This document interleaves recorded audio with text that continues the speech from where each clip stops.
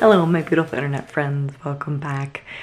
I posted this video on my other channel earlier today after debating about it for quite some time just because it's a lot more raw than I usually like to be even though I don't generally censor myself on camera. It's been a rough week. Like it's I've not been in a good place just being totally honest and I've had a few moments where things got especially dark and especially scary. It's weird to talk about that when I can also have great moments too. Depression is really confusing. It's something I've dealt with for years. It's a part of my life. I don't want it to be a part of my life forever, but right now it is. And this week it's hit really hard. And I was just gonna keep it posted over on my other channel because that deals directly with mental health. But the comments I received there, a lot of them were like, this is exactly where I am or this is what I feel like. And seeing this helped me feel less alone. And so I decided that I would bring it over to this channel too because there's a lot more of you guys here than there are over there. And uh, my hope in posting this is that it helps someone. But before you watch it, I want to make really clear I am okay. Putting stuff like what you're about to see out on the internet sometimes concerns me that people will think that I'm like really not okay and frankly I'm, I'm really not okay but I also do know what I need to do to keep myself safe. I have good resources in place. I have an amazing husband who does a great job of taking care of me and listening to me when I need it. I have good friends who I can call when I need to call them who will pick up the phone. And I have a very good counselor who has seen me twice this week. It's the only week I've ever seen a counselor twice. It's a special week. So I just need you to know before you watch this that I'm okay, but that life has been dark lately. And as much as I can have good, authentic moments of smiling and having like a good time, it all comes back to rushing back to darkness sometimes. And I know it'll pass, I know it'll get better, but right now I'm, I'm struggling. I might get tackled by a shepherd in a second. Guy to the camera. It's very doubtful about pressing film right now, but I always feel a need to justify why I'm filming when I'm a mess by saying, but like, I started this channel to be honest about like mental health and life after trauma and all of that, and this week has been just a shit show if we're being totally honest when it comes to mental health. It's been a roller coaster too, because I've had like really good days. Uh, that's my counselor calling because I sent her a concerning text message. I'll be right back.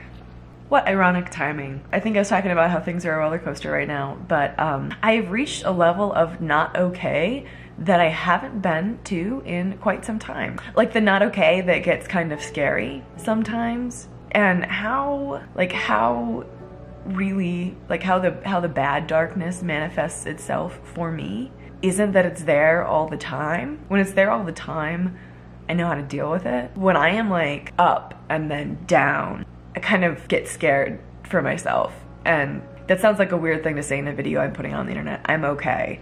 I'm reaching out to resources as you saw by the fact that my counselor was literally calling me and I'm about to meet with her in an hour. Earlier this week when things got really bad, I called a friend of mine. We talked for an hour and a half. Like I'm, I'm doing the things that I need to do to check in and to like stay mentally and physically safe. But I feel so paralyzed. There's so much that needs to get done. And by so much, I mean like the list of to do isn't even that long. And I'm just gonna share this because I feel like a lot of you guys will probably get it but I'm in a place right now where like one thing being added to something I have to do. uh, this sounds funny, but someone texted me who I forgot to text back yesterday. I'm fine, puppies. I was at a conference yesterday. I said I was in the conference. I'll text you guys back later. I didn't text them back later because it was a crazy day and I forgot. And they texted me today like, hey, so are you alive? It wasn't a mean message at all. It was a really caring, loving message. If you were in a normal, healthy space, you might take that message to be like, oh God, I totally forgot to respond. Hey, sorry guys, no, I'm totally fine. Like, yeah, yeah, I just totally forgot to message you. Like, here's what's going on. I saw that message and it like sent me into panic attack. It was one more thing that I was like, failing and one more person who I was failing and one more standard I couldn't live up to and but like I wake up every morning and I, I give myself a nice little pep talk being like Jo you can do this. Like you are you're capable and intelligent and creative and you can handle this. And I try to be really gentle and loving with myself and take a few minutes to even like journal or a few extra minutes for coffee if that's what I need or like whatever and really try to like pep talk myself into like you can handle the day. And like for instance there are three things that needed to get done today three major things. And then there's like the list of other things that have to get done like medical records that need to be requested and budgets that need to be figured out like how things are gonna work over the next few months. And I'm so paralyzed because as much as I might mentally know, like as a human being, I have the capacity to get things done.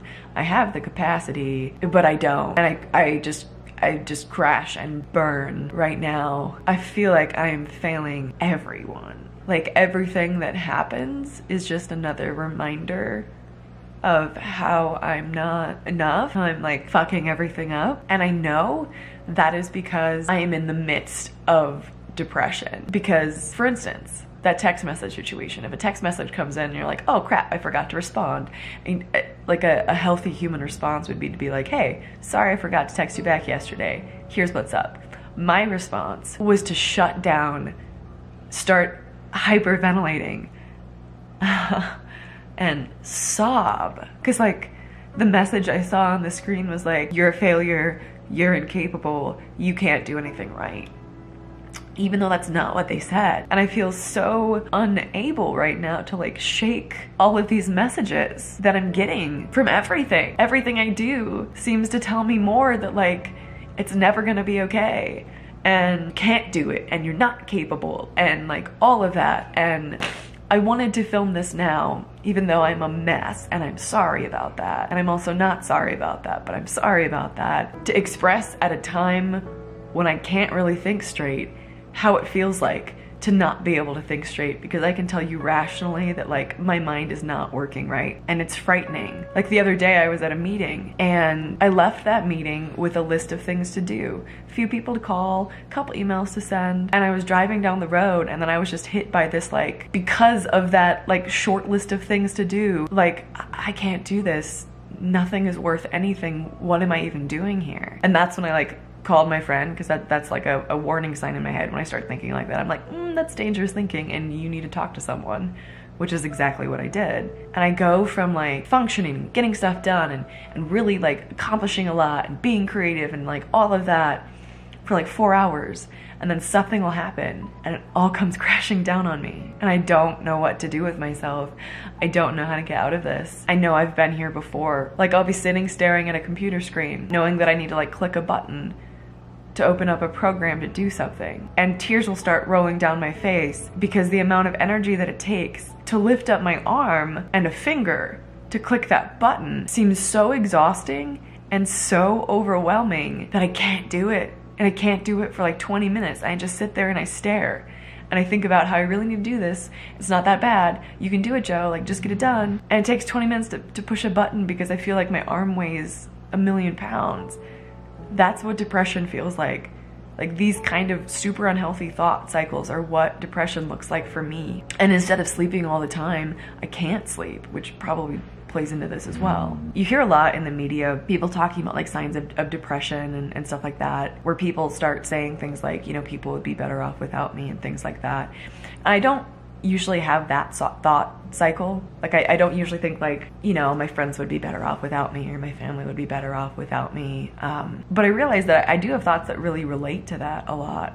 And what they look like is I'm so incapable of anything that I, I, should, I just shouldn't be here. I should just remove myself from every situation that I'm a part of. And that isn't true. And that isn't what I'll do but those voices get really loud and really scary and hard to fight. And as many times as I do all the right things, as I, you know, get up on time and start my day the right way, or, you know, get some fresh air, or maybe stretch and exercise a little bit, or, you know, I take my medications the way I'm supposed to on time so that it, you know, regulates my system the way that it should, and, and all of that, it doesn't, it doesn't work it doesn't do it. I've tried the opposite of that too, where, you know what, I'm gonna sleep in. I'm not gonna keep a schedule. I'm not gonna do all like the handy dandy, pretty little self-help book things that people say to like be effective with your life. I'm just gonna say fuck it and not do any of those things and see if that works.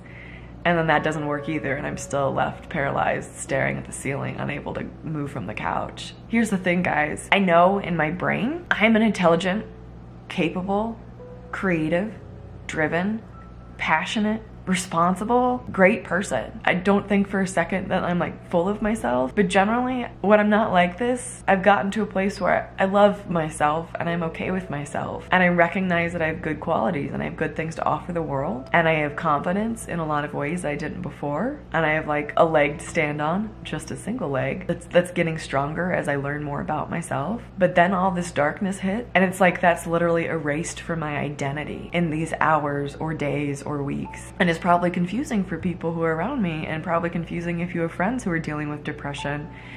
Yesterday, I was hanging out with people and I was like engaged in conversation, laughing, smiling, animated. I was there. I was like present. And that wasn't a lie. Like I wasn't faking that. And then something happens. And it's just a domino effect of catapulting into this dark mental space where I can't breathe and where I need help. And so I'm going to go get that help right now. It's time to go to counseling and I won't ever stop fighting. I won't ever stop figuring out a way through. And I've been in similar places before and I know that it passes. I know that there's a way through it, but I also know that I can't think straight right now and I have no idea what it looks like. And for anyone, I guess, who doesn't know, I just wanted to show you what depression looks like and the way it makes your brain think from someone who generally can function okay. But this just like strips me of everything in these moments and in these days. Yeah, so that's where things have been at. I'm doing much better today. That was a couple days ago and you know, some people are asking me, you know, what what triggered this or what it was brought on by, and I think a lot a big part of like what triggered it is just everything I've been going through physically, all of the setbacks, all of the wondering if anything is ever going to get better, but also it's a state that I've lived with for a long time. I have dealt with depression for, well, clinically seven years, but I think well before that as well. It's why I care so much about talking about mental health and why I talk about mental health in a lot of my videos because it's affected me so deeply. Thank you for watching that if you did. And if you feel that way, I hear you. I'm here too. I feel that way. You're not alone. You're not crazy. But please find help. Please find someone to talk to. If I didn't have people to talk to, people who were professional or even just people online, like finding a community that understands, I don't know that I would have made it. It's vital that you find what you need to make it through, that you do whatever you need to do to survive. Whatever that looks like for you. So if you're struggling, I'm so sorry. I'm here with you. I get it and just make sure that you take care of yourself because the important thing is you. The important thing is staying alive. The important thing is getting through because I promise it will pass. And I promise that to myself too because sometimes it's hard to believe it. It's hard to see it in these moments. Like I said, thank you for listening. Again, just as a reminder, I am okay. I will be okay. I just wanted to film that at a time when things were really bad and when I can't think straight because then other moments I can. And it's just a weird existence when I know that I am a reasonably intelligent human adult and then sometimes my brain just goes into this state where I cannot I just can't I can't process things I can't hear things I hear weird messages from everything that tell me dark things and it's hard to fight but I'm fighting it and I'll be okay.